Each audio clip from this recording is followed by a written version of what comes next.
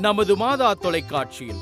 இந்த வாரம் கல்வாரி வெள்ளி என்று மரத்தின் கனியால் வீழ்ந்த உலகத்தை சிலுவை மரத்தால் நிலைநிறுத்தி விண்ணையும் மண்ணையும் இணைக்கும் பாலமாக திகழ்கின்ற திருச்சிலுவை நமக்கு கற்றுத்தரும் பாடங்களை அருட்தந்தை முனைவர் ஜான் போஸ்கோ அவர்கள் விளக்கி கூறும் சிலுவையின் நிழலில். அன்புமிக்கவர்களே மர சிலுவைகள் நமக்கு வேண்டாம்.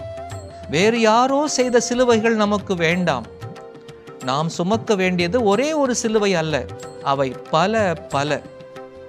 ஒவ்வொரு முறையும் எனக்கு இல்லை என்று நான் சொல்லும்போது அதுவே எனக்கு சிலுவையாகிறது.